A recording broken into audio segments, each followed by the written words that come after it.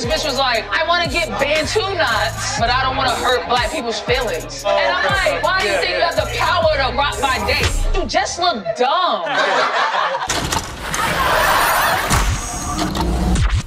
What do you think? I feel like he's proud. He knows where he comes from. He's not making a mockery. How you feel about him now? Well, you know what? To each his own love is love. uh, our black brothers.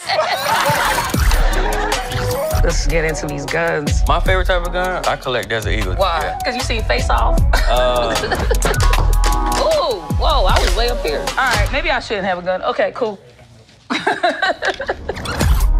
what is like the multi-millionaire's routine? My alarm goes off around six. So problem one is I'm getting up at one o'clock in the afternoon. If you wake up too late, everyone who gets up early took all the money at the table before you get up. I like that. That sounds like something Diddy would say. what is fame? it's crazy. It's like Kanye West had to make college dropout to get the privileges of a white teenager.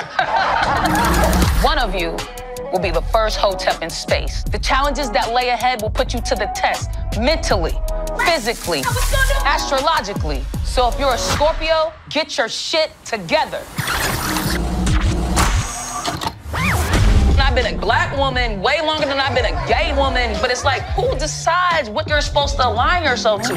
What at your core makes you conservative? I don't think the Democrats are smiling at us. I think they look down at us more than Republicans do. Eating fried chicken and saying, I got hot sauce in my bag is relatable enough for us to fall for that trap. Olivia, girl, you just need your own party, bitch. You-